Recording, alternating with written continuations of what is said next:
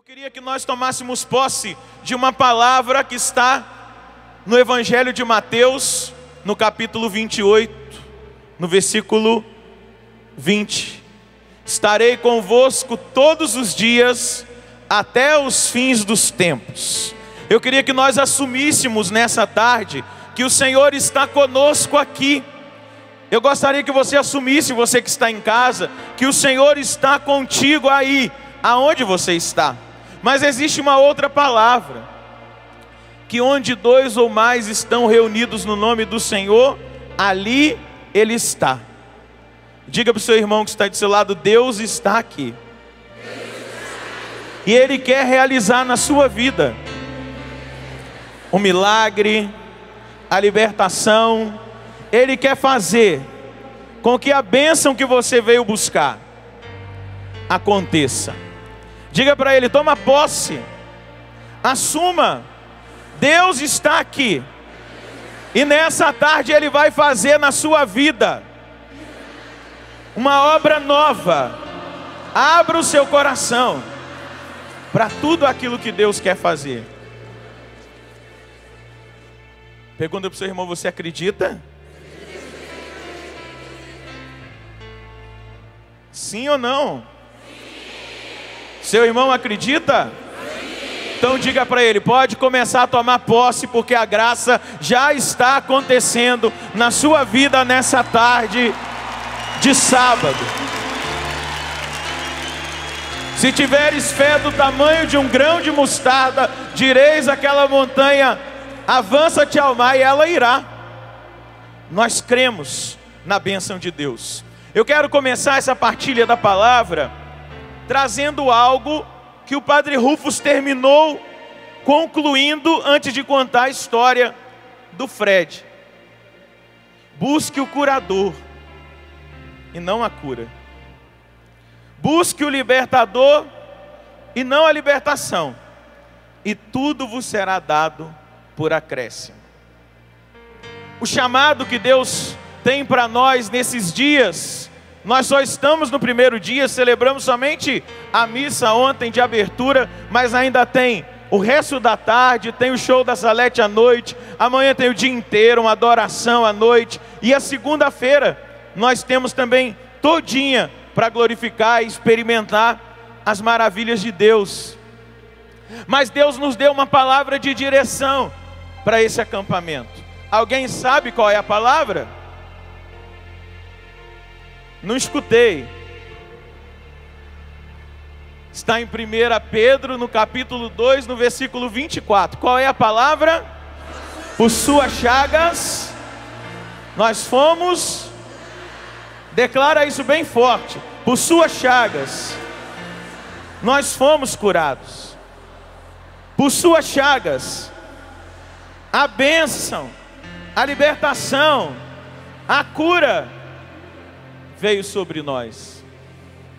E é interessante, meus amados, nós percebemos que a bênção que vem sobre toda a humanidade, ela vem através do sofrimento redentor de nosso Senhor Jesus Cristo. Uma chaga não é uma ferida? Você já se cortou? Você já se ralou tomando um tombo de bicicleta, caindo de uma escada, escorregando no banheiro da sua casa. Quando abre uma ferida em nós, ela é dolorosa. E é interessante nós percebermos que a bênção, que a salvação, que a cura vem para nós por intermédio do sofrimento redentor de nosso Senhor Jesus Cristo. Eu gostaria que você pegasse a sua Bíblia e abrisse no capítulo 53 do profeta Isaías, e fosse comigo no versículo 3, Isaías, capítulo 53, versículo 3. Era o mais desprezado e abandonado de todos, homem do sofrimento, experimentado na dor, indivíduo de quem a gente desvia o olhar, repelente, dele nem tomamos conhecimento. eram na verdade os nossos sofrimentos que ele carregava, eram as nossas dores que levava às costas, e a gente achava que ele era um castigado, alguém por Deus ferido e massacrado, mas estava sendo traspassado por causa das nossas rebeldias, estava sendo esmagado por nossos pecados. Os castigos que teríamos de pagar caiu sobre ele, e com as suas feridas veio para nós a cura. Pelas suas feridas veio para nós a cura. Nós podemos olhar para o crucificado e ver as feridas que a coroa de espinho produziu na cabeça dele. Se nós olharmos para as mãos, aonde os pregos perfuraram, tem feridas nas mãos. Se nós olharmos para os pés, que foram perfurados pelos pregos, nós vamos ver as feridas dos pés. Se nós vermos e vislumbrarmos aqui o lado de Jesus, aonde a lança daquele soldado romano perfurou, nós vamos ver as chagas do coração de Jesus. E a palavra de direção do nosso acampamento, que o apóstolo Pedro, ele teve a inspiração pela profecia de Isaías, ela declara que por essas chagas nós fomos curados. Portanto, meu irmão, minha irmã, nós precisamos compreender essa maravilha. Nas chagas de Jesus está a nossa cura. Eu não sei que cura que você veio buscar. Se você veio buscar uma libertação espiritual, se você veio buscar uma cura física, um milagre, eu não sei se você está precisando que Deus faça na sua vida um grande impossível, se é a libertação da sua família.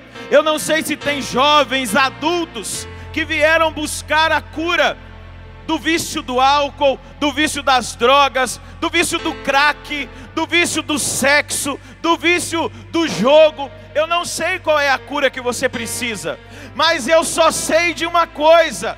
E essa é a certeza: a cura está disponível nas chagas de Jesus. A cura já está disponível para você nas chagas de Jesus, por suas chagas nós fomos curados. Meus amados, se nós acreditarmos nisso, se nós tomarmos posse dessa verdade, se nós assumirmos o poder que há nas chagas, e chagas hoje, hoje gloriosas de Jesus, nós sairemos daqui totalmente curados pelo Senhor. Mas existe uma tendência em nós, e essa tendência muitas vezes nos impede de experimentar a cura. É uma tendência que vem passando de geração para geração, porque se nós olharmos na história da nossa salvação, é uma tendência que assolou o povo de Israel e que assola hoje, nos dias de hoje, o novo Israel que somos nós. Diga para a pessoa que está do seu lado: você é o novo Israel. Nós somos o novo Israel, o novo povo de Deus. Eu queria para você entender isso, vá lá no livro dos Números, no capítulo 21. Número, números capítulo 21, versículo 4. Números, capítulo 21, versículo 4. Amém?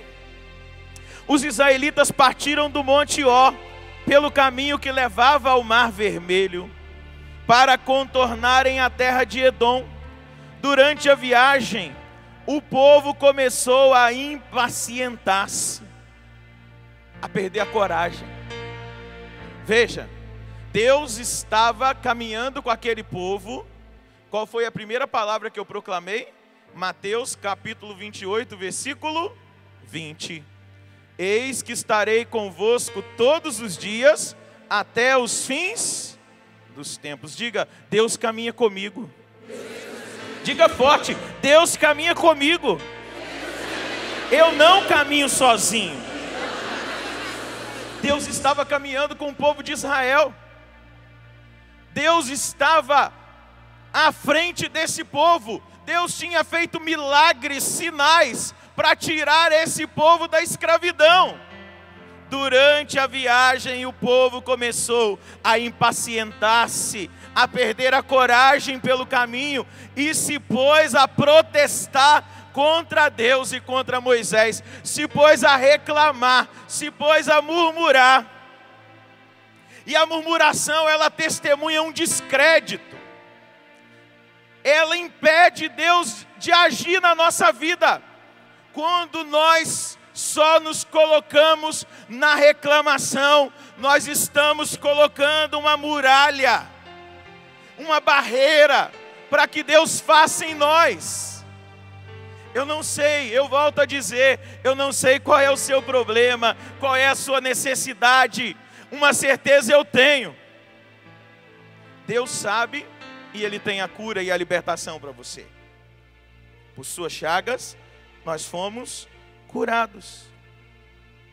E muitas pessoas, muitas pessoas ainda estão na situação de derrota, na situação de pessoas abatidas, porque ainda não entenderam que o caminho é assumir o Cristo, assumir as dores, assumir a cruz, louvar e não reclamar, louvar e não murmurar, e esperar. Eu escrevi um livro que foi lançado nesse ano, no início do ano, chamado Clamando por Milagres, e o que eu mais trabalho nesse livro é uma motivação para que nós não percamos a coragem no caminho de cura que nós fazemos, no caminho de libertação, no caminho de milagres, na busca por Deus, porque a tentação é essa. A tentação é nós reclamarmos, é nós murmurarmos, é nós desistirmos, é nós abandonarmos a caminhada, é nós perdermos a coragem e perdendo a coragem, perder a graça, perder a bênção, acusar a Deus, reclamar de Deus e não abrir o coração para que Deus faça. Perceba o que aconteceu com esse povo. Eles diziam: Por que nos fizeste sair do Egito? Eles eram escravos para morrermos no deserto? Não há comida, nem água, e nós já estamos com nojo desse alimento miserável. Eles ainda amaldiçoam o alimento que Deus deu para ele, para eles, porque eles estavam com fome. Deus fazia cair pão do céu, e eles vão dizer que nós já estamos com nojo do alimento, desse alimento miserável. Quantas vezes nós já dizemos, dissemos, hein? Eu já não aguento mais rezar a esse Deus, porque Ele não faz nada por mim. Então nós estamos iguaizinhos. Nós já estamos fartos, enojados desse alimento miserável. Olha só. Então o Senhor mandou contra o povo serpentes venenosas que os picavam, e muita gente de Israel morreu. Beba tu mesmo o teu veneno o veneno da reclamação, o veneno da murmuração, o veneno da desconfiança. O povo dirigiu-se a Moisés e disse: Nós pecamos falando contra o Senhor e contra ti. Roga ao Senhor que afaste de nós as serpentes. Moisés, de coração bom, porque servia a um Deus de coração bom e misericordioso, se coloca diante do Senhor e intercede pelo povo. E veja a ordem que Deus dá. Faze uma serpente venenosa e coloca-a sobre uma haste. Aquele que for mordido, mas olhar para ela, ficará com vida. Deus manda Moisés erguer uma serpente de bronze. E é interessante que esse episódio foi tão importante e tão profético que mostrava o caminho da cura para toda a humanidade até o último dia que nós tivemos aqui nessa terra, que Jesus, lá no capítulo 3, no versículo 14 do Evangelho de João, vai dizer: Como Moisés levantou a serpente no deserto, assim também será levantado o filho do homem. Como ele foi levantado? Como? Como Jesus foi levantado, o Filho do Homem? Na cruz. Qual é o tema da nossa pregação, da nossa, do nosso encontro? Por suas chagas, nós fomos. Diga para o seu irmão, pelas chagas de Jesus, você é curado. Eu declaro agora, no nome do Senhor, uma palavra profética sobre a sua vida. Diga para ele. Eu declaro agora, no nome de Jesus, uma palavra profética sobre a sua vida. Pelas chagas de Jesus, você é curado. Receba no nome de Jesus a cura, o milagre, a bênção, a restauração, a transformação da sua vida. Coloca a mão no seu irmão, como o Padre Rufus ontem nos dizia. Coloca aí, toca aí nas costas dele. Não precisa nem de colocar a mão na cabeça, não. Coloca a mão aí suavemente nas costas dele e diga: Em nome de Jesus, eu estou declarando, pelas chagas de Jesus, você é curado. Meu irmão, você é curado você é liberto, você é transformado, você é conquistado pelas chagas de Jesus. Agora, nesse momento, eu declaro a sua libertação e a sua cura. Eu profetizo sobre a sua vida. Ser curado no nome de Jesus. Amém. Você acredita? Você toma posse? Você assume?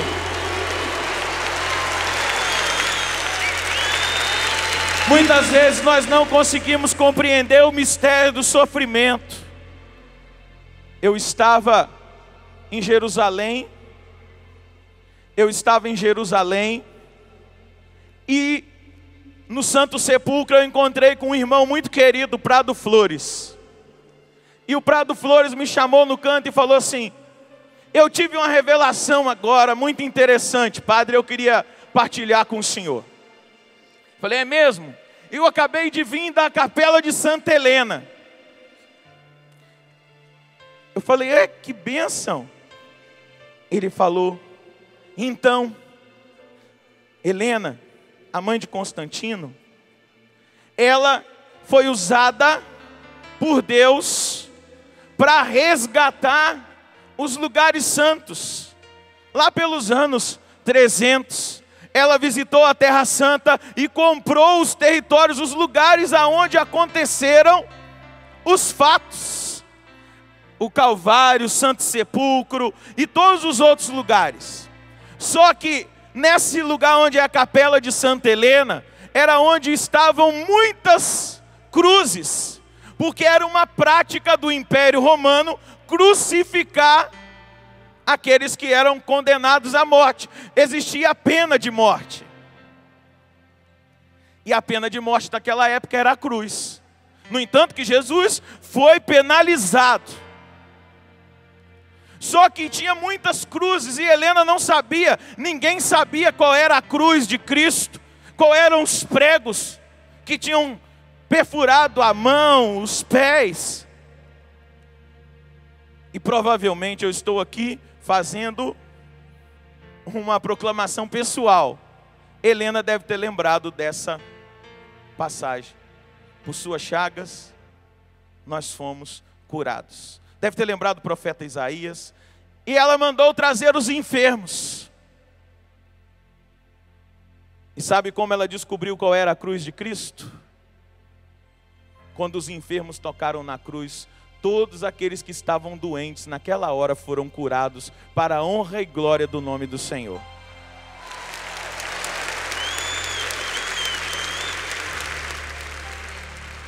Esse é o mistério, o mistério da cura, da bênção, o mistério do sofrimento que nós não podemos negar, que nós vamos sempre enfrentar na nossa vida. Mas é um mistério salvífico, é um mistério salvador. Veja o que o catecismo da igreja vai dizer. Este projeto divino de salvação, mediante a morte do servo, o justo, havia sido anunciado antecipadamente na Escritura como um mistério de redenção universal. O catecismo vai dizer isto é, de resgate que liberta o homem da escravidão do pecado. A morte redentora de Jesus cumpre em particular a profecia do servo sofredor, essa profecia que nós acabamos de ler do profeta Isaías.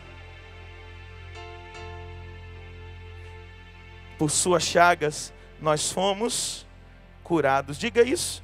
Por suas chagas nós fomos curados. O catecismo está dizendo essa redenção universal, essa cura universal, ela acontece pelas chagas de nosso Senhor Jesus Cristo.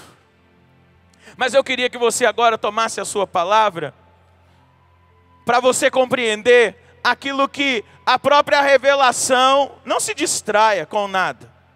Deus está trabalhando, eu estou dizendo que à medida que a palavra for sendo proclamada e que nós formos tomar posse, os milagres, as libertações, as curas, a transformação vai acontecer no meio de nós. Nós precisamos acreditar.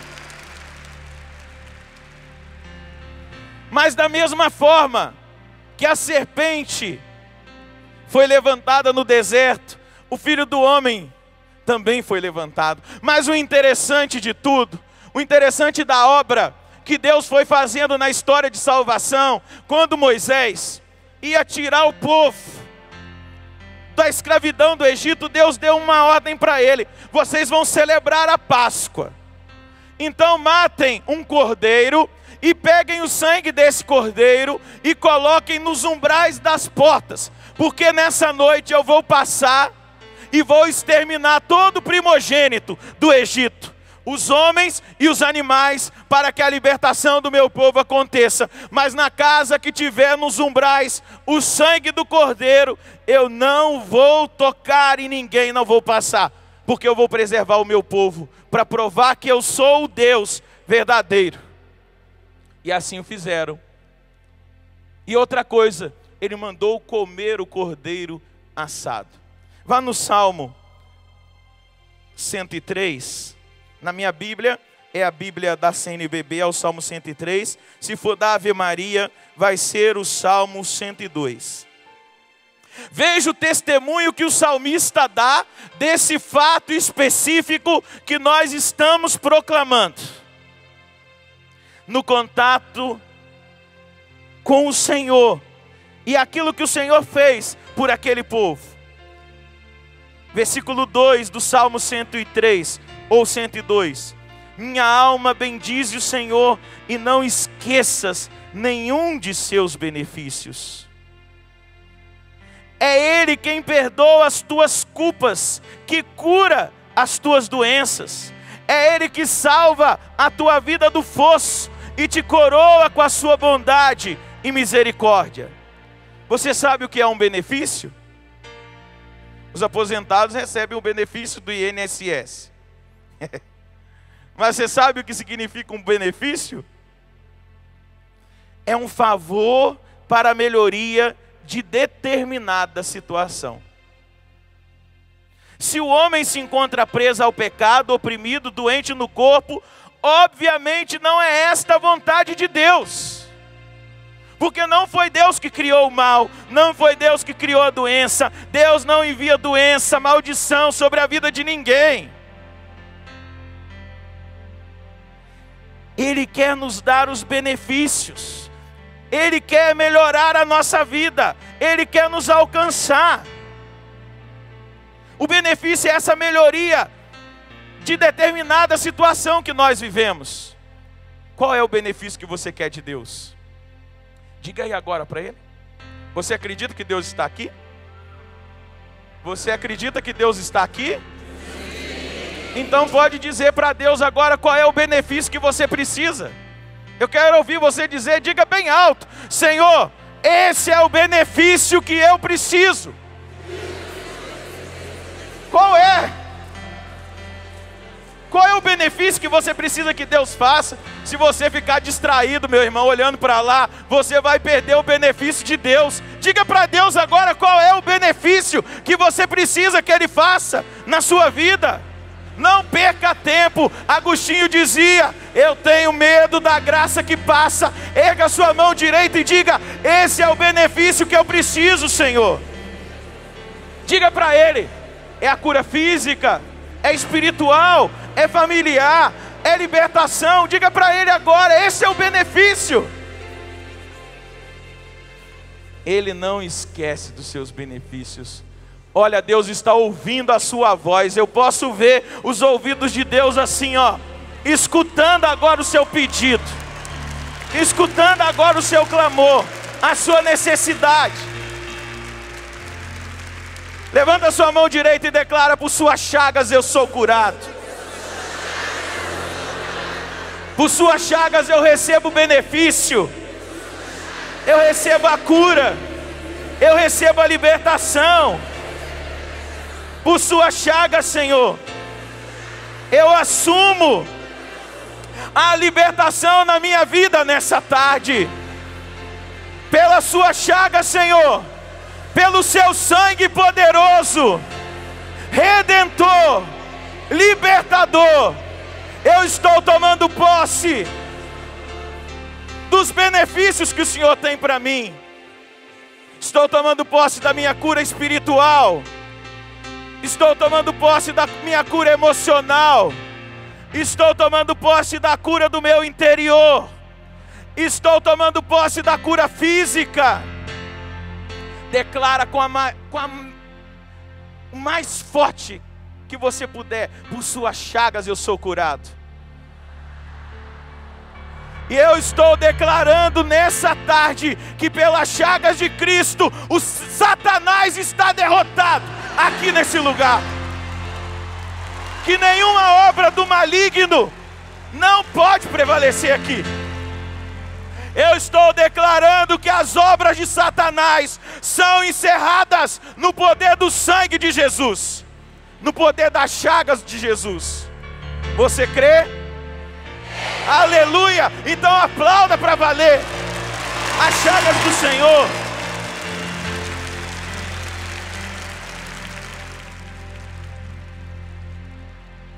Meu amado, a obra do Senhor é obra de salvação na nossa vida. Só que muitas vezes nós pensamos que salvação é só algo espiritual. É espiritual.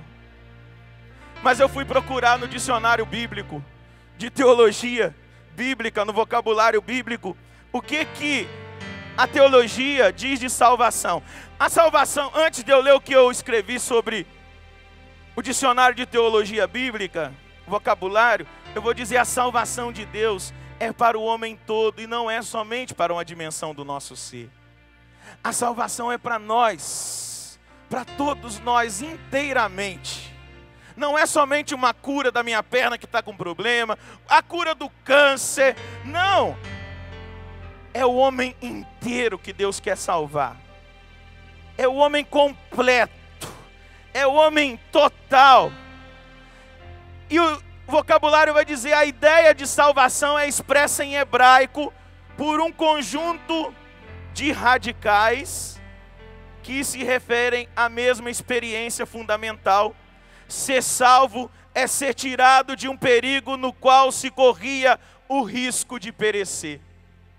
Veja, ser salvo é ser retirado de um risco que poderia nos levar a perecer. Conforme a natureza do perigo, o ato de salvar tem afinidade com a proteção, a libertação, o resgate. Veja bem, tudo que a salvação vai dizer a nós é um ato de afinidade com a proteção, a libertação, o resgate e a cura. Diz o dicionário. Olha só o que o dicionário vai dizer: conforme a natureza do perigo, a salvação, ela está totalmente ligada com a saúde. Quem precisa de saúde aqui? Com a vitória. Quem precisa de vitória aqui? A salvação está ligada com a paz. Quem precisa de paz aqui? A salvação está totalmente ligada com a vida. Quem precisa de vida aqui? Jesus vai dizer em João capítulo 10, versículo 10: Eu vim para que todos tenham vida e a tenham em abundância. Em abundância. Diga comigo, Senhor nessa tarde de graça, de bênção, eu quero assumir a força da Sua salvação na minha vida. Eu quero tomar posse da Sua vitória, da Sua proteção, do Seu resgate, da Sua cura, da Sua vida, da Sua paz. Levanta a sua mão direita e diga: Eu assumo tudo isso, Senhor. Porque eu creio que a salvação diz respeito dos meus problemas diários. Eu estou assumindo agora, Senhor, e colocando nas suas chagas os meus problemas. Declara bem forte: por suas chagas eu sou curado. Mais forte ainda, por suas chagas eu sou curado. Ah, você acredita? Você vai ver depois dessa tarde o que vai acontecer na sua vida, porque você está tomando posse.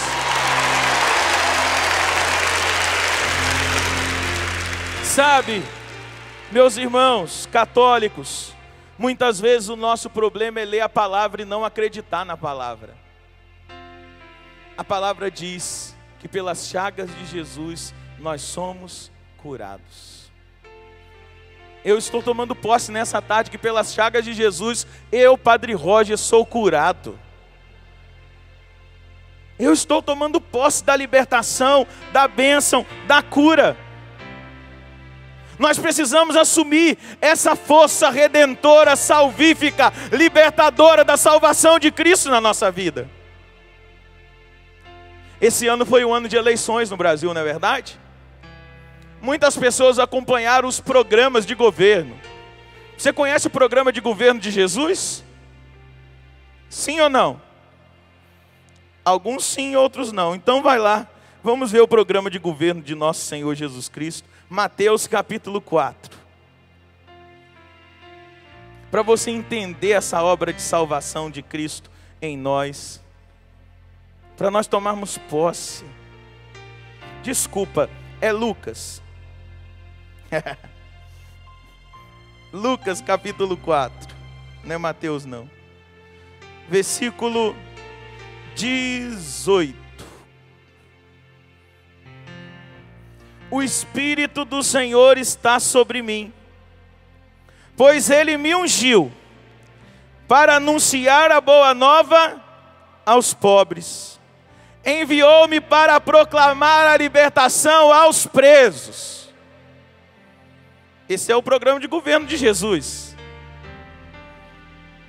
E aos cegos a recuperação da vista, para libertar os oprimidos. Eu quero que você declare isso bem forte. Faz parte do programa de governo de Jesus libertar os oprimidos. Diga: Jesus liberta os oprimidos. Todos os oprimidos são libertos por Jesus. Porque só Jesus pode libertar aqueles que estão oprimidos, aqueles que estão sofrendo. E nessa tarde eu quero tomar posse de que Jesus pode libertar os oprimidos. Ele está libertando, pode aplaudir, porque Ele está libertando os oprimidos aqui. Só que o programa de governo de Jesus não foi só para aquele tempo, é até o último dia, até nós irmos para o céu. Esse programa está em em andamento, ele está trabalhando. E ele termina no versículo 19: e proclamar um ano aceito da parte do Senhor. Agora, se você for em Mateus, voltar um pouquinho para trás, Mateus capítulo 4, o evangelista, no, no capítulo 23, vai trazer isso. Como que o programa de Jesus estava acontecendo? Jesus não vive de promessa, Jesus cumpre promessa. Jesus não está no nível de alguns que só prometem, não. Jesus cumpre. Veja só como ele está cumprindo no versículo 23 o programa de governo dele. Jesus percorria toda a Galiléia ensinando nas sinagogas deles, anunciando a boa nova do reino, curando toda espécie de doença e de enfermidade.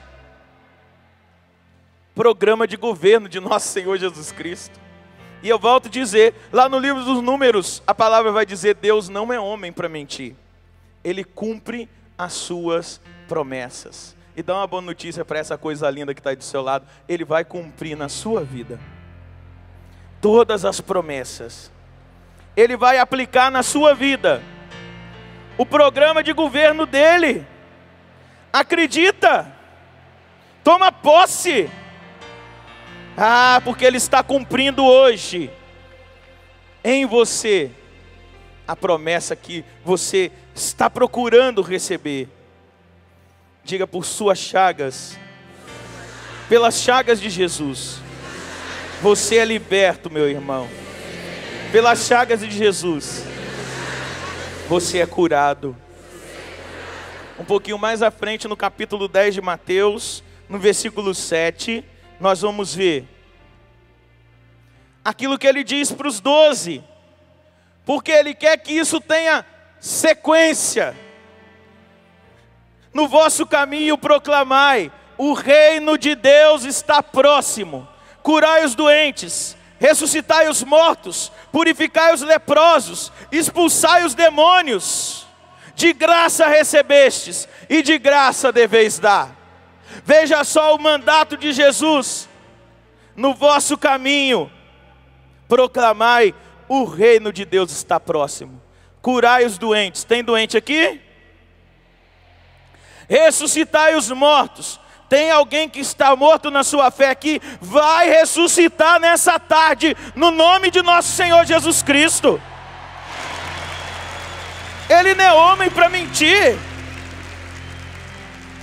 purificai os leprosos, expulsai os demônios. Eu quero dar uma péssima notícia para os demônios nessa tarde: todos eles vão sair no nome de nosso Senhor Jesus Cristo. É uma péssima notícia para eles e uma boa notícia para você. A libertação chegou para nós, porque pelas suas chagas, pelas chagas de Jesus, nós somos curados. Aleluia! Eu creio. Aleluia!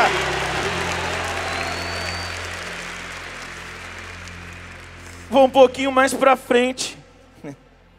Para você entender o negócio. Marcos capítulo 16 o mandato missionário de Jesus para a gente rezar e eu vou ver o milagre acontecer aqui. Marcos 16, versículo 15. E disse-lhes: Ide pelo mundo inteiro e anunciai a boa nova a toda criatura. Quem crer e for batizado será salvo, quem não crer será condenado. Eis os sinais que acompanharão aqueles que crerem eu vou dar mais uma vez uma péssima notícia para o diabo: expulsarão os demônios em meu nome.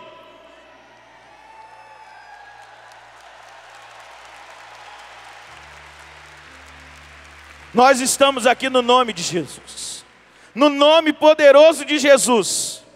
Falarão novas línguas, se pegarem em serpente e beberem veneno mortal, não lhes fará mal algum e quando impuserem as mãos sobre os doentes, esses ficarão curados. Você crê? De verdade? Diga então por suas chagas. Eu sou curado.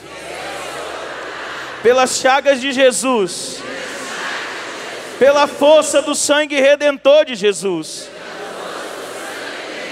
eu sou curado, eu sou liberto, eu sou salvo, e eu estou tomando posse nessa tarde, que nenhuma força do mal pode ter autoridade na minha vida, na minha família, na minha casa.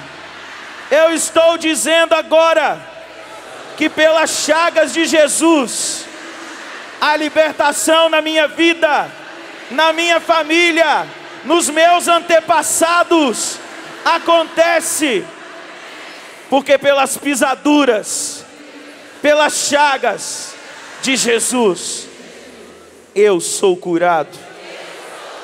E junto comigo toda a minha família é curada, é liberta, é salva, é transformada, é visitada nessa tarde a minha casa. Eu creio, Jesus.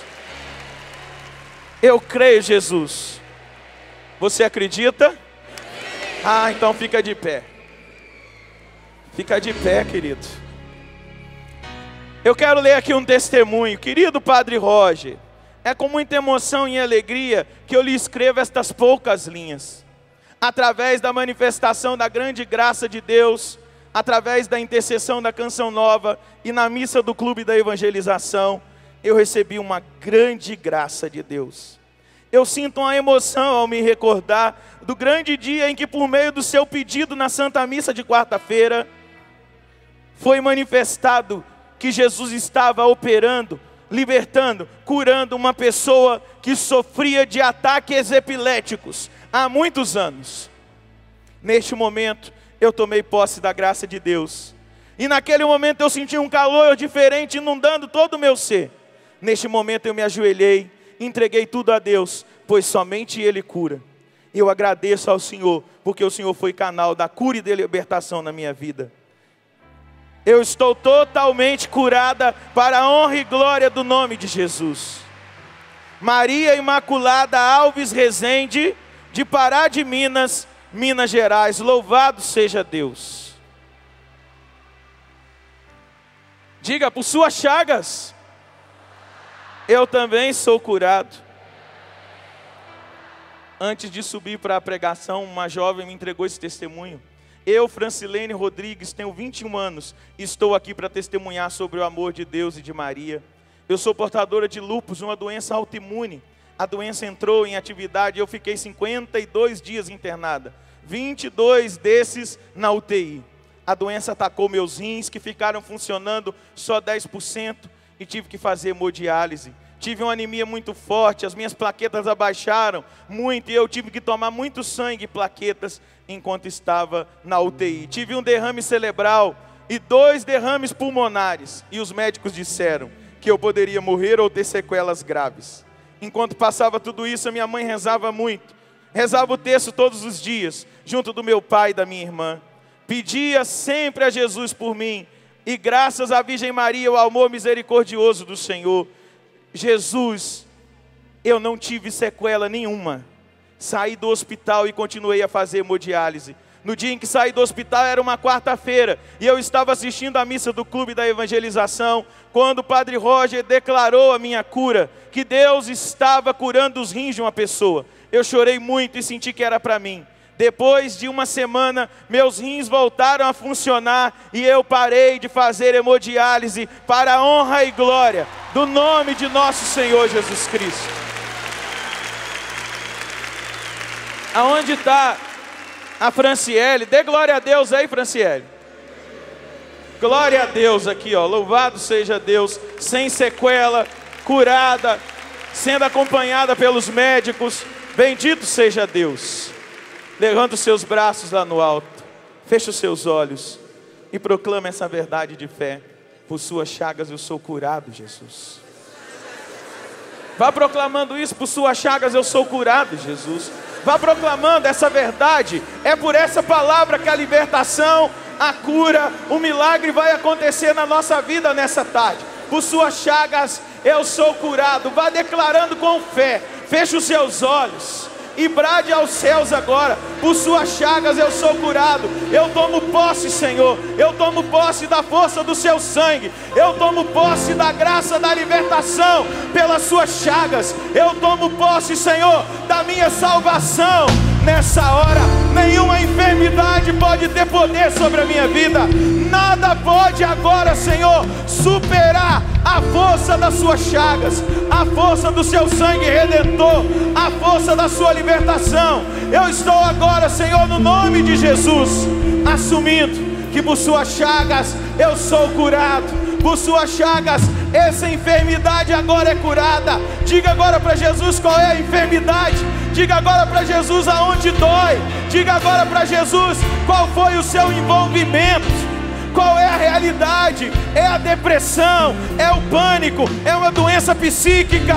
Qual é a realidade que você vive? É o vício da droga, é o vício do álcool, é o vício do jogo, é o problema na sexualidade na afetividade, diga: Senhor, por suas chagas eu sou curado, eu sou curado desse problema, por suas chagas eu sou liberto, por suas chagas eu sou salvo, por suas chagas eu experimento a cura, a libertação, a salvação, por suas chagas, Senhor, eu experimento, Senhor, a poderosa ação da sua cura, do seu espírito, do seu milagre. Vem, Senhor Jesus, por suas chagas eu sou curado. Vem, Senhor Jesus, alcança-me com o seu poder, alcança-me com a sua graça, alcança-me com a força de libertação.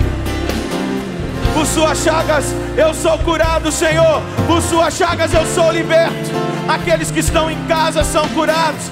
Aqueles que estão nos ouvindo pelo rádio são curados. Aqueles que estão aqui são libertos.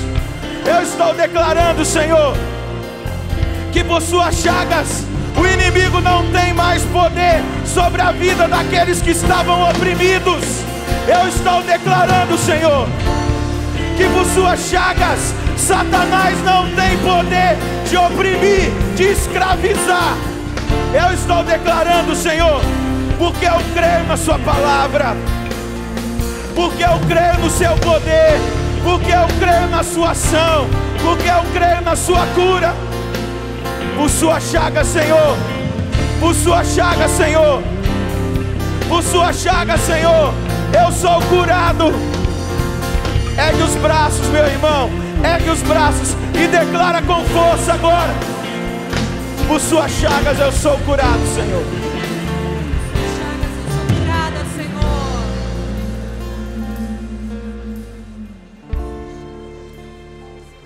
Feche os seus olhos, ergue bem alto os seus braços. O Senhor vai passar trabalhando no nosso meio agora, vai caminhar nas arquibancadas. O Senhor está caminhando no nosso meio, fazendo prodígios e cumprindo o programa de governo dele, expulsando os demônios, curando os enfermos. O Senhor está caminhando aqui neste centro de evangelização, lugar da manifestação da glória. Ele está tocando em pessoas com enfermidades incuráveis nessa hora. Ele está agora, pela força do sangue dele, pelo poder dele, Ele está agora curando as enfermidades. Deixa o Senhor te tocar, não tenha medo, continua com os braços erguidos. Deixa o Senhor te tocar, te visitar. Deixa a glória de Deus te alcançar nessa hora. Deixa o poder curador de Deus tocar em você. Você que se sentia fraco, o Senhor Jesus está expulsando toda espécie de demônio do meio de nós, da nossa vida e da nossa casa nessa hora. Ele está caminhando, ele está operando.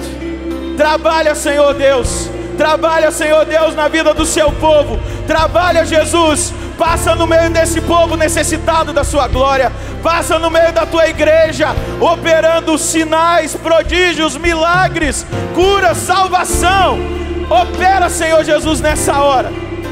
Meu amado, ergue os seus braços. E agora solta a sua voz na linguagem do Espírito. Feche os seus olhos. E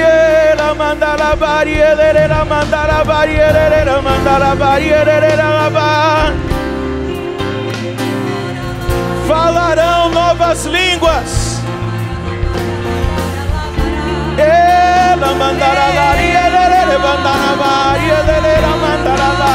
Ora, ora com intensidade.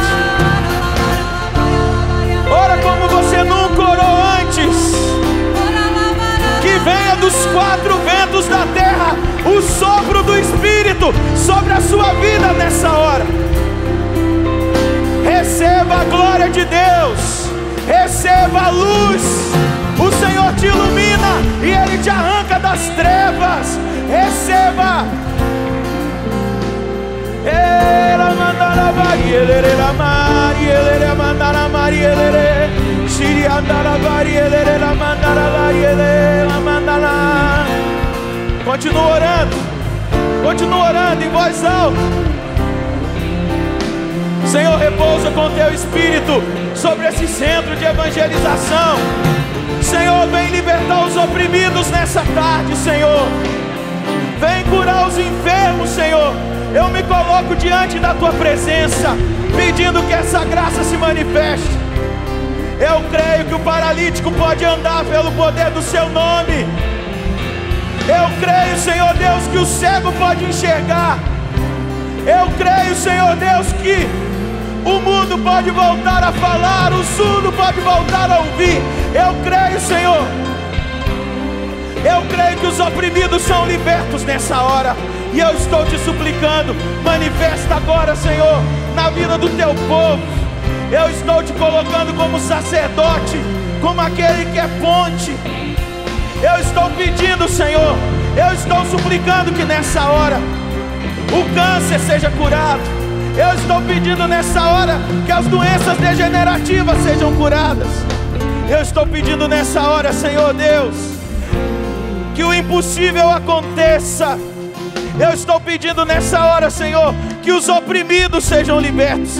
Eu dobro o meu joelho diante da tua presença. Como sacerdote, suplico por esse povo sofrido, por esse povo, Senhor, cheio de feridas, machucaduras. Por suas chagas, Senhor, eles podem ser curados.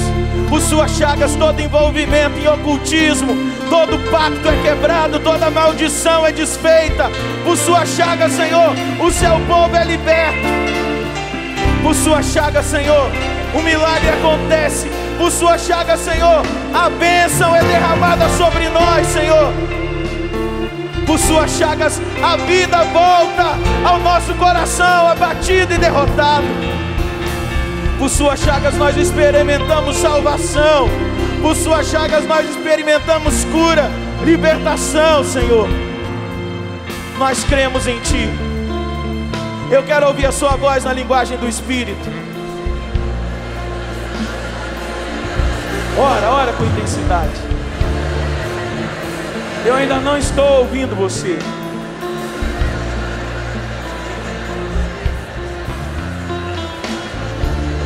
Insista.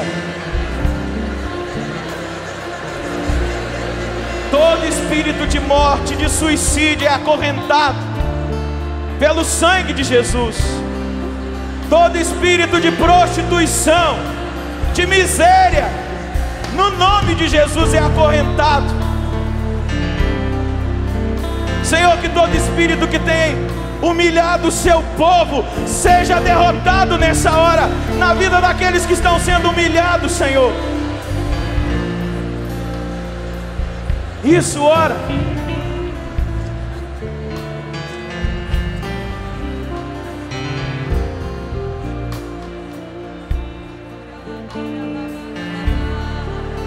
Ela manda na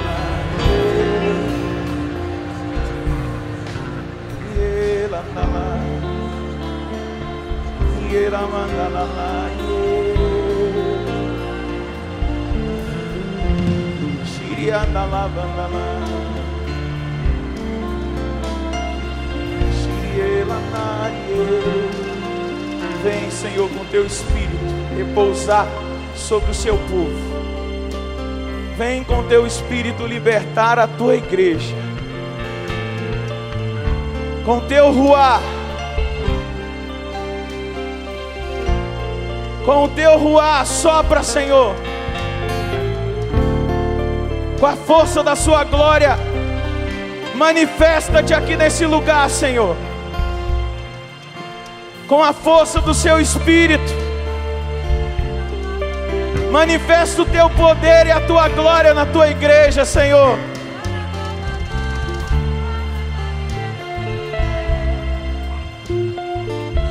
E agora vá silenciando. Continua com seus olhos fechados. Traga a sua mão sobre o seu coração.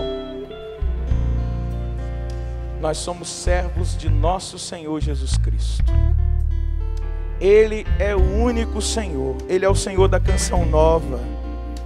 Ele é o Senhor desse centro de evangelização. Jesus é o Senhor. Receba na sua vida agora o milagre, a cura, aonde você está. Seja agora tocado e experimentado na graça de Deus. Seja tocado, visitado, alcançado pela graça de Deus nessa hora.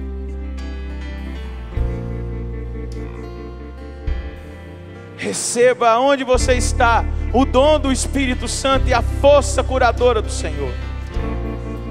Eu quero declarar o programa de governo da nossa vida. Que Jesus declarou. Ele exorciza, ele expulsa Satanás do meio de nós.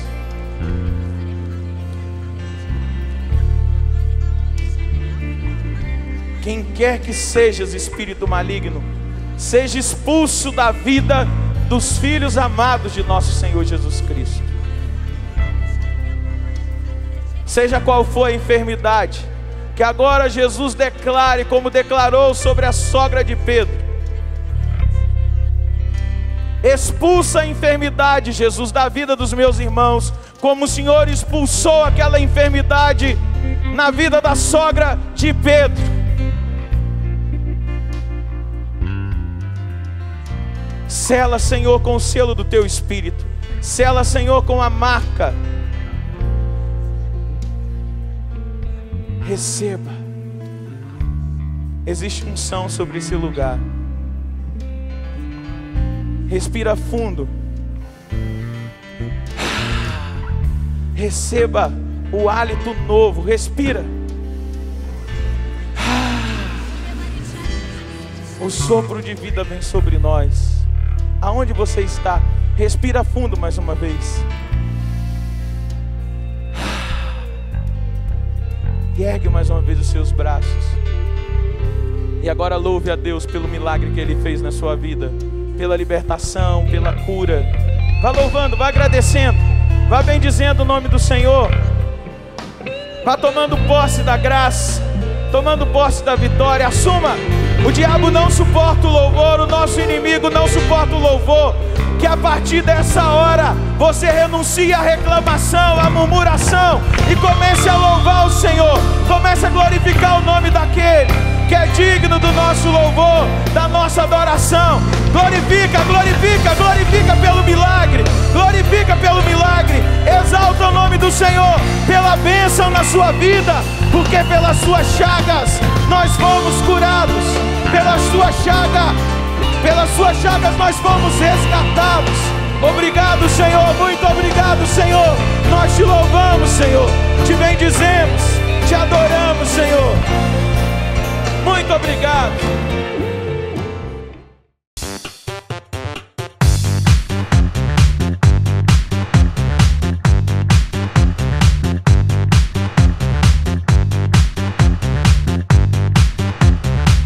cançãonovaplay.com. Assine já!